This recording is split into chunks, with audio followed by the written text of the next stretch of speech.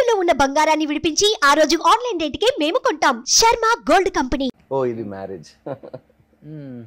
అప్పుడు chief minister ఆయన? అప్పుడు తమిళనాడు గవర్నర్. గవర్నర్ ఉన్నారా? ఓకే. రోషయ్య గారు. అంటే ఆయన సీఎంగా ఉన్నప్పుడు ఫస్ట్ రాజశేఖర్ రెడ్డి గారు ఉన్నప్పుడు ఆయన ఫైనాన్స్ మినిస్టర్గా పనిచేశారు. సో ఇప్పుడు క్యాంప్ ఆఫీస్లో కలిసి మేము మాట్లాడుకునేవాళ్ళం. రాజశేఖర్ రెడ్డి గారు రోషయ్య గారు మేము. అంటే ఎలక్షన్ క్యాంపెయినింగ్ గురించి మాకు ఎక్స్ప్లెయిన్ చేసేవారు. సో అప్పుడు అప్పటి నుంచి పరిచయం అనమాట ఓకే. ఆయన చీఫ్ మినిస్టర్ అయిన తర్వాత అప్పుడు ఆయన కోసం ప్రేయర్ చేయడానికి వెళ్ళాను. క్యాంప్ ఆఫీస్కి వెళ్ళి ప్రేయర్ చేసి బ్లెస్ చేసి ఓకే. వచ్చిన తర్వాత జిహెచ్ఎంసీ ఎలక్షన్స్ వచ్చినప్పుడు అడిగారు నాకు కాల్ చేసి పర్సనల్గా రోషయ్య గారు.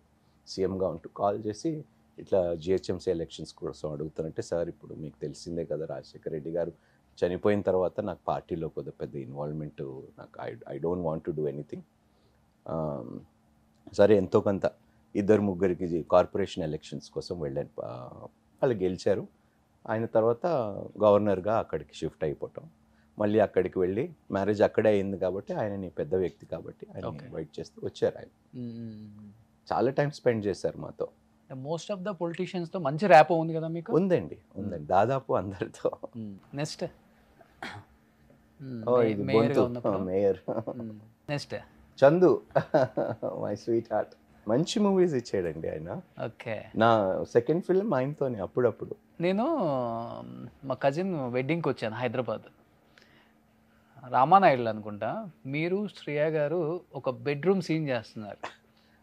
అది వెంకీ డైరెక్టర్ వెంకీ. నేను ఫస్ట్ చూసిన హీరో మీరే తెలుసా? అవునా? అది కూడా శోభనం శోభనం scene, అవును. తను red sari white white red white with red మీరు ఉన్నారు ఫస్ట్ నేను అలా చూసాను కసిపు సీన్ చాలా బాగా చేశారు సార్ రొమాన్స్ అప్పుడు. మీకు దండం పెడతారు. అది ఓన్లీ యాక్టింగ్ అంటే అప్పుడు నాకు తెలియదు. అది ఓకే అది యాక్టింగ్ అని okay super next yeah. Sangeetha. Sangeetha. మంచి ఫ్రెండ్ లేదండి. అంటే సినిమా ఇండస్ట్రీలో అందరు పరిచయం ఇన్ కేస్ సెకండ్ ఇన్నింగ్స్ మళ్ళీ స్టార్ట్ చేస్తే నీకు దండం పెడతా. There is no more second innings no more second innings it's over. It's over I seen everything in life అన్నీ అనుభవించాను. అన్ని సుఖాలు సుఖభోగాలు అనుభవించాను. అన్నీ చూశాను. అన్ని కంట్రీస్ తిరిగాను. ఏమున్నది ఇంకా దాని తర్వాత? What is what is life అంటే ఏం అర్థం అవ్వట్లేదు ఇప్పుడు ఇంకా? అర్థం కాదండి. ఇప్పుడు అదే జీవితం అనుకున్నాను కానీ దానికి మించినది లైఫ్ ఒకటి ఉన్నది అనేది ఈ స్పిరిచువల్ వాక్లో నేను తెలుసుకోగలుగుతాను దీంట్లోనే ఎక్కువ మీకు. ఆనందాన్ని ఇచ్చింది. మీ మూవీ లాగే. Great next Devnar foundation for blind okay ఆయన చీఫ్ జస్టిస్గా పనిచేశారు. మధ్యలో కూర్చున్నారు చూడండి కింద. Okay purple colour tie he was the chief justice of Telangana so Chauhan garu అని ఆయన ఎస్ యా చౌహాన్ గారు. సో అప్పుడు మేము అందరం కలిసి వెళ్ళామన్నమాట. దేవ్నార్ స్కూల్ అని మనకి ఇప్పుడు తాజ్ వివాంటా ఉంది చూడండి. బేగంపేట దాని వెనకాల. ఓ. మొత్తం బ్లైండ్ స్టూడెంట్సే అమేజింగ్ అండి. వెరీ వెరీ టాలెంటెడ్ పీపుల్ మీరు ఒక వీడియో చేయాలి. ఇక్కడికి వెళ్ళా?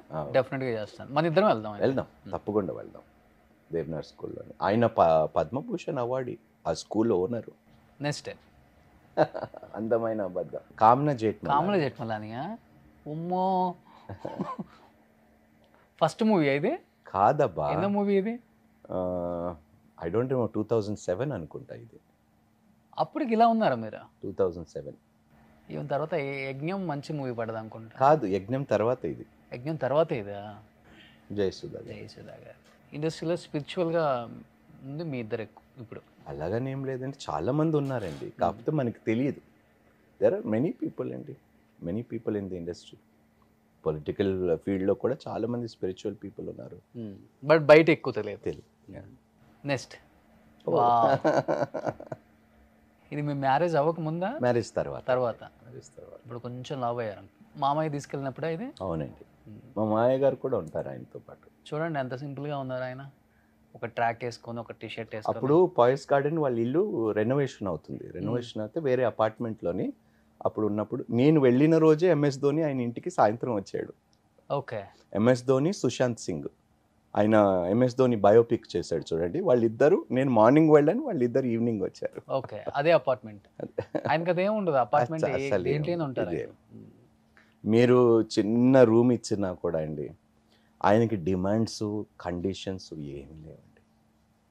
అందుకనే అంటున్నాను ఆయన అంటే స్పిరిచువల్ కోణం అది చాలా ప్లస్ అవుతుందండి మనుషులకి. Is a very spiritual man very very spiritual man నేను చాలాసేపు మాట్లాడాను ఆయనతో చాలా సంగతులు షేర్ చేసుకున్నాను. నిజంగా అందుకనే అంటానండి ఆ స్పిరిచువల్ కనెక్ట్ లేకపోతేనే మనకి లైఫ్ అనేది ఏమిటో ఒక ఐడియా ఉండదండి. ఇదేనేమో. స్పిరిచువల్గా కనెక్ట్ అయిపోతే మనిషిలో ఉన్న అహం చచ్చిపోతుంది అంటారా చచ్చిపోతుందండి. ఓ. There are three things in life అండి. నేత్రపు ఆశ అంటాం. Lust of the eye lust of the flesh pride of the life లోకపు డంబము నేత్రపు ఆశ శరీరాశ. ఓకే. ఈ మూడే మనుషులని నాశనం చేస్తుంది.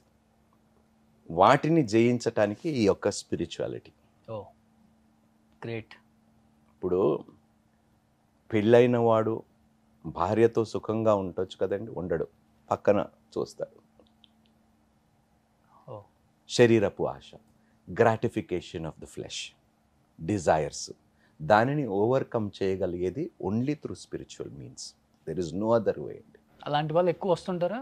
నైంటీ పర్సెంట్ ఇప్పుడు ఏంటండి బిగ్గెస్ట్ ఇండస్ట్రీ ఏమిటి మనకి? పోర్నోగ్రఫీ పోర్నోగ్రఫీకి అడిక్ట్. ఇక్కడే మన మధ్యలోనే అడగండి ఎంతమంది చూడరు? అందరు చూస్తారు వీళ్ళంతా.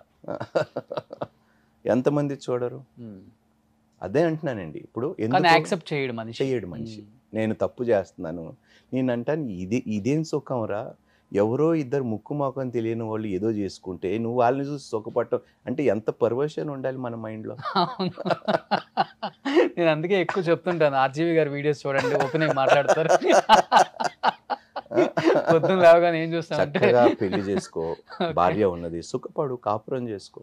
ఇంకేం కావాలి? ఇప్పుడు ఒక్క ఒక్క వ్యక్తితో సుఖపడి లేనివాడు ఎంతమంది ఉన్నా చాలా మంది భర్తలు అదే. కొన్ని రోజుల తర్వాత ఫీలింగ్స్ రావట్లేదు అనేది ఎక్కువ మాట్లాడతారు. మా తెలిసి మీ దగ్గర మ్యారేజ్ కూడా అలాంటి వాళ్ళు మా వచ్చి ఉంటారు. మ్యారేజ్ అయ్యి టెన్ ఇయర్స్ అవుతుందండి. We have a very strong relationship even today అంటే అది ఒకటి సెక్స్ విషయం అనే కాదు. అవును. అన్ని విధాలు అబ్సల్యూట్లీ. అందుకని భాగస్వామ్యం అన్నాం కదండి. She are partner life partner soul partner soul mate మీ ఇద్దరికి ఏ విషయంలో ఇంతవరకు గొడవలు రావటం? నాకు తెలిసి టెన్ ఇయర్స్లో ఒకే ఒకసారి గొడవ పడ్డాం. మీరే? ఇద్దరం. కాకపోతే మళ్ళీ వచ్చి మళ్ళీ క్షమాపణ కోరుకొని ప్రేయర్స్ చేసుకొని భగవంతుడి దగ్గరికి వెళ్ళి మమ్మల్ని క్షమించు. ఇద్దరిని కలిసి పని చేయమన్నావు. కానీ మేము ఒక వ్యక్తికి అవకాశం ఇచ్చి మమ్మల్ని వేరు చేయటానికి స్కోప్ ఇచ్చినందుకు థర్డ్ పర్సన్ ఎవరు ఉండకూడదండి మన మ్యారేజెస్లో ఒక్క దేవుడు తప్ప. No other person should inter పంచాయతీలకి. అవును. ఒక మాటలో అవునండి అబ్సల్యూట్లీ మనం ఏదైనా గొడవలు అయితే అటు వాళ్ళని ఒక నలుగురిని ఇటు వాళ్ళని ఒక నలుగురిని ఎందుకంటే అందరూ. అందరూ ఒకవైపే కదండి సపోర్ట్ చేస్తారు. అది పోవాలి నిజంగా సార్ మీరు చెప్పినట్లుగానే థర్డ్ పర్సన్ అంటే దేవుడే ఉండాలి. అమ్మాయి తరపున ఒక పది మంది అబ్బాయి తరపున ఒక పది మంది. వచ్చి ఏం చేస్తారు? ఇంకా గొడవలు ఇంకా రెచ్చగొడతారు. పొయ్యిలో ఇంకా కాస్త కట్టెలు పెట్టి కట్టెలు పెట్టి కిరోసిన్ పోసి. గ్రేట్ సూపర్ ఏదైనా ఇబ్బంది ఉంటే రాజా గారి దగ్గరికి వెళ్ళండి. సుమన్ టీవీలో మీ పర్సనల్ అండ్ బిజినెస్ ప్రమోషన్స్ కోసం కింది నెంబర్కి కాంటాక్ట్ చేయండి.